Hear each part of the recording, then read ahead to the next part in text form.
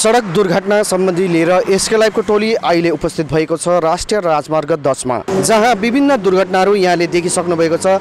यस्तै दुर्घटनाहरू के कस्तो तरिकाले भइरहेको छ यस विषय सम्बन्धी एसके लाइफको टोलीले एउटा यहाँहरू समक्ष कार्यक्रम लिएर आएको छ। र आउनुहोस् हामी यस दुर्घटना सम्बन्धी वाहन चालकहरूसम्म जान्नेछौँ कि यो सडक दुर्घटना के कस्तो तरिकाले हुँदैछ र यो सडक दुर्घटनालाई नियन्त्रणमा ल्याउनुको निम्ति के कस्तो उपायहरू अपनाउनु पर्ने हो। यसको विषयमा हामी उहाँहरूसँग केही कुराकानी गर्नेछौँ। हामीसँग एकजना वाहन चालक उपस्थित भइसकेको छ। उहाँले यस राष्ट्रिय राजमार्गमा वर्षमा जुन एउटा दुर्घटनाहरू भइरहेको छ है यस सम्बन्धी उहाँले आफ्नो प्रतिक्रिया व्यक्त गर्नुहुनेछ र आउनुहोस् हामी उहाँसँग केही कुराकानी गरौँ।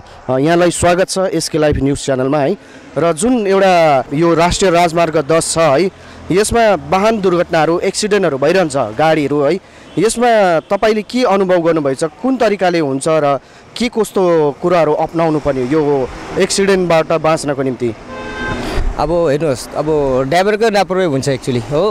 अब जस्तो कि अब तपाईँको अब कोही ड्रिङ्क नसामा हुन्छ कोही गुटी ट्याब्लेट त्यस्तो खाएर पनि हुन्छ। एक्सिडेन्ट बन्नुको त अब एक्सिडेन्ट हुन्छै हुन्छ तर लापरवाही के हुन्छ कि ड्राइभरकै अलिकति त्यसमा चाहिँ दोष आउँछ।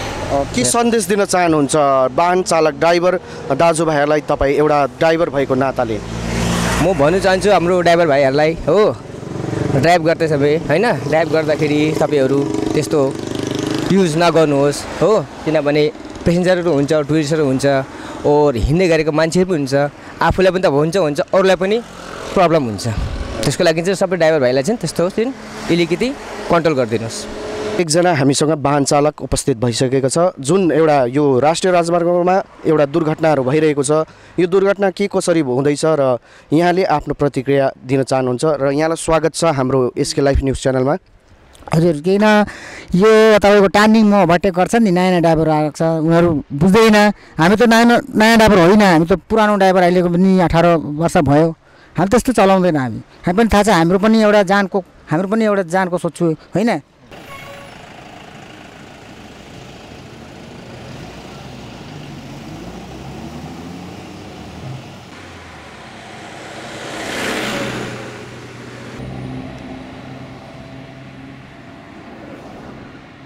यसरी नै हामीसँग एकजना वाहन चालक हुनुहुन्छ र उहाँसँग हामी जान्नेछौँ कि यो राष्ट्रिय राजमार्ग दसमा वर्ष नै जुन एउटा सडक दुर्घटनाहरू भइरहेको छ यो दुर्घटनाप्रति उहाँको के प्रतिक्रिया रहनेछ? यहाँलाई स्वागत छ है र यहाँ कहाँदेखि हुनुहुन्छ? म पेलिङबाट हो। यत्रो- सिलगढी जहिले म कन्टिन्यू अब टुरिस्ट मात्रै लिएर हिँडिबस्छु यो बाटो।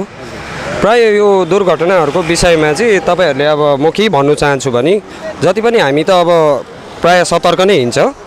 कतिजना हुन्छ अब यस्तो यति साह्रो रफ ड्राइभिङ गरिदिन्छ। त्यसले गर्दाखेरि बेसी ओभरटेकिङमा बेसी प्रब्लम भइरहेको छ हामीलाई यो अलिकति सानो बाटो हुनुको कारणले गर्दाखेरि। ओभरटेकिङ जति बेला हुन्छ त्यति बेला एक्सिडेन्ट हुने चान्सेस पुरा हुन्छ। किनकि हामी पनि अब सतर्कसँगले गाडी चलाउँदाखेरि अर्को गाडीले पछाडिबाट ओभरटेक गर्दाखेरि चाहिँ बेसी एक्सिडेन्टहरू हुँदैछ यो बाटोमा। खासमा चाहिँ यसलाई चाहिँ टु वे बनाएर बिचमा बाडिदिनु भयो भने चाहिँ कसैले ओभरटेक गर्दैन। त्यसले गर्दा गाडीहरू ओभरटेक हुँदैन। त्यसले गर्दाखेरि चाहिँ एक्सिडेन्ट हुने चान्सेस चाहिँ कम्ती हुन्छ। मेरो भन्नु चाहिँ त्यति नै हो। यो बाटोलाई चाहिँ बिचमा डबल लाइन गरेर यता र उताको छुट्याइदियो भने चाहिँ एक एक लाइनमा गाडी हिँड्छ। त्यसले गर्दाखेरि दुर्घटना त्यति साह्रो अहिले जति भइरहेको छ त्यति हुनु सक्दैन मेरो विचारमा चाहिँ। अब हामी त जति चलाउँछ अब हामी सिक्किमबाट हो हामी पाहाडबाट गाडी चढाएर आउने मान्छे त्यति साह्रो स्पिड हिँड्दैन हामी यहाँ बाटोमा आएर। प्रायः यताको गाडीहरू जति पनि डब्लुपी गाडीहरू छ अब टुरिस्ट लिएर आउँदै गरेको हुन्छ। उनीहरू अलिकति उनीहरूले ओभरटेकिङमा चाहिँ अलिकति ध्यान दिँदैन। किनकि जहिले पनि हामीलाई जति पनि साह्रो पर्छ त्यो ओभरटेकिङमै प्रब्लम हुँदैछ गाडी चाहिँ। त्यसले गर्दा चाहिँ यस्तो एक्सिडेन्टहरू हुँदैछ खासमा मेरो भन्नु चाहिँ यति नै छ। सायद अब सबैजनाले हामीले जस्तै सोचेर चलाइदियो भने चाहिँ यतिको अर्काको जिन्दगी अब त्यति सजिलै जाँदैन। किनकि ड्राइभरको नाइन्टी पर्सेन्ट चाहिँ अब ड्राइभरको रङ देखाउँछ गाडीमा चाहिँ। अब त्यसले गर्दा हामीले जति नै जोगिँदा पनि अर्कोले आएर हिर्काउने चान्सेस बेसी हुन्छ। अब त्यस्तो फल्ट भएर चाहिँ एक्सिडेन्ट हुन्छ। मेरो भन्नु चाहिँ त्यति नै छ। अब ताकि यो रोडलाई चाहिँ डबल गरेर बिचमा बाडिदियो भने चाहिँ सायद यो ओभरटेकिङ प्रब्लम सल्भ हुन्छ त्यसले गर्दाखेरि एक्सिडेन्टहरू हुने चान्सेस हुँदैन। मेरो भन्नु त्यति नै छ। यसरी नै हामीसँग छ अर्का एकजना चालक हुनुहुन्छ। उहाँसँग कुराकानी गर्नेछौँ। यस वाहन दुर्घटना सम्बन्धी। आउनुहोस् हामी उहाँसँग केही कुरा गर्नु यहाँलाई स्वागत छ। जुन एउटा यो रोडमा वर्षमा धेरै मात्रामा दुर्घटनाहरू वाहन दुर्घटनाहरू भइरहेको छ। यसलाई लिएर तपाईँ कसरी हेर्नुहुन्छ? अझै यहाँ बेसी नै यो ओभरटेक बेसी नै हुन्छ र त्यही कारणले प्रायः जस्तो एक्सिडेन्ट हुन्छ जस्तो लाग्यो। र के भन्न चाहनुहुन्छ? जुन यस यो घटनामा कसको लापरवाही रहेको छ? कसको जिम्मेवारी रहेको छ? यसमा त अब ड्राइभरकै लाग्छ होला। हजुर। के भन्न चाहनुहुन्छ? उक्त ड्राइभरहरूले लापरवाहीसँग जुन गाडी कुदाउँछ है उहाँलाई के सन्देश दिन चाहनुहुन्छ? अब भन्नु त अब खोइ के भन्नु होला ड्राइभरमाथि ल।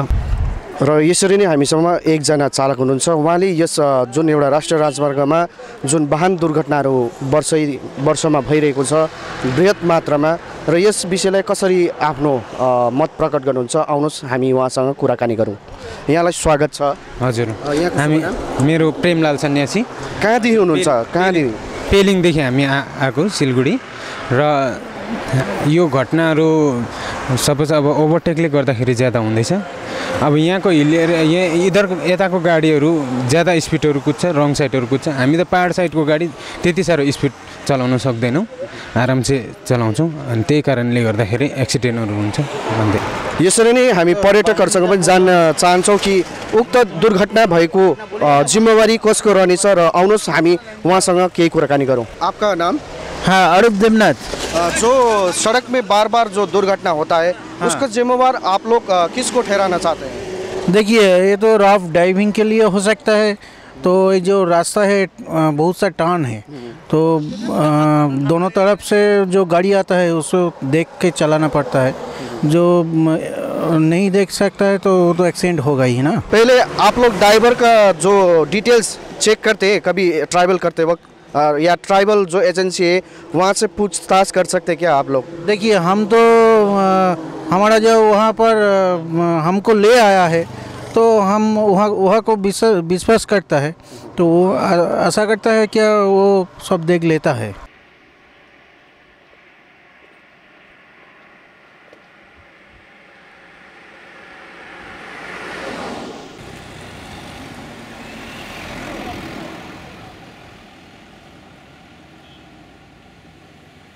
यसरी नै हामी समक्ष एकजना वाहन चालक हामीसँग उपस्थित भइसकेको छ। उहाँसँग जान्नेछौँ कि यो जुन सडक दुर्घटना छ यसलाई कसरी नियन्त्रण गर्न सकिन्छ र यो सडक दुर्घटनाको कारण के रहेको छ आउनुहोस् उहाँसँग हामी कुराकानी गर्नेछौँ।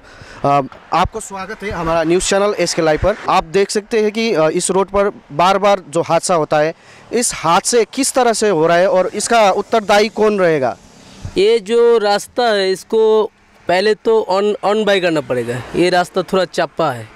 और एक बात है जो ड्राइवर लोग चलता है यहाँ पे वो सब सही नहीं है। किसी कोई कोई थोड़ा नशा भी करता है कोई ड्रग्स भी लेता है कोई डेंडर भी पीता है और कोई वो काशी का जो सिराप होता है वो भी पीता है। इसलिए भी थोड़ा हो जाता है। और रास्ता भी थोड़ा वो ऑन बाई करना पड़ेगा। तब एक्सीडेंट कम होगा। अ, तो आपको क्या लगता है कि इस हादसे को अ, किस तरह से नियंत्रण करना पड़ेगा? जो एक्सीडेंट बार बार जो हो रहा है ये राष्ट्रीय राजमार्ग 10 के अंतर्गत जो बार बार हादसे हो रहे हैं इस हादसे को विभागीय तौर से क्या विकल्प अपनाना चाहिए? आपको क्या लगता है? विकल्प मतलब जो ट्रैफ़िक पुलिस है वो भी उन लोग को भी थोड़ा ध्यान देना पड़ेगा। और रास्ता भी तो चौड़ा करना ही पड़ेगा। नहीं तो ऐसा हादसा हो गई और जितना वो ड्राइवर लोग रात में चलता है उन लोगों को ऐसा करना चाहिए जो नशा मतलब नशा नहीं करने से कैसे चलेगा, वो पुलिस को देखना पड़ेगा। ठीक है?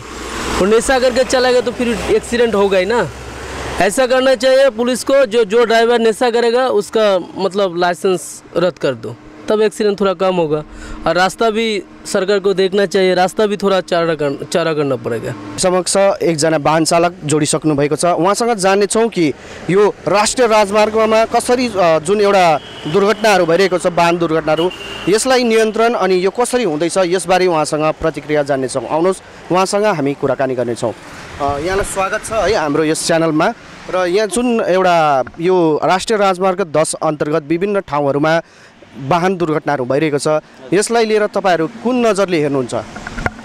म चाहिँ के भन्छु भने ड्राइभर साथीहरूलाई होइन अब यो जस्तो छ तपाईँको अब यो प्लेन बाटो छ होइन अब यसमा चाहिँ स्पिड बढी हुन्छ। अब ड्राइभरले जुन एउटा कन्ट्रोलमा कुदाउनु पर्ने त्यो हुँदैन। अनि त्यसले गर्दाखेरि चाहिँ तपाईँको बाइचान्स त्यसरी भेट जम्का भेटमा चाहिँ त्यस्तो भएर चाहिँ तपाईँको एक्सिडेन्ट हुने कारण नै त्यही हो। स्पिड बढी भएकोले नै त्यस्तो भएको हो जस्तो चाहिँ मलाई लाग्छ। जुन चालकहरूले एउटा स्पिड एउटा रफ्तारमा कुदाउँदैछ है उक्त वाहन चालकहरूलाई के सन्देश दिन चाहनुहुन्छ यहाँले? म चाहिँ यही भन्छु अब जति पनि सक्दो हुन्छ होइन अलिकति जोगिएर हिँड्नुहोस् सतर्क हिँड्नुहोस् अलिकति डिस्टेन्समै हिँड्नुहोस् है। म चाहिँ यही भन्न चाहन्छु। र हामीले जान्यौँ कि यो जुन वाहन दुर्घटनाहरू भइरहेको छ, यसमा कसको उत्तरदायी रहन्छ र कसरी चालकहरूले वाहनलाई कुन तरिकाले, कुन प्रकारले वाहन गुराउनु पर्ने, यो सबै हामीले प्रतिक्रियाहरू जान्न पायौँ। यस्तै विविध विषयहरूमाथि एसके लाइभ यहाँ समक्ष उपस्थित रहनेछ चौबिसै घन्टा। क्यामेरा पर्सन तन्मय रोयको साथमा म अनुप राई सिलगढी। घर की फर्नीचर ही घर की शोभा होती है। गेस्ट की नज़र फर्नीचर पर ही पड़ती है। फर्नीचर के लेटेस्ट ट्रेंड से घर को स्पेशल लुक कैसे दे? फर्नीचर जंक्शन, तीन मंजिलों में और पच्चीस हज़ार वर्ग फुट में फैले हुए फर्नीचर का एक अच्छा संग्रह है।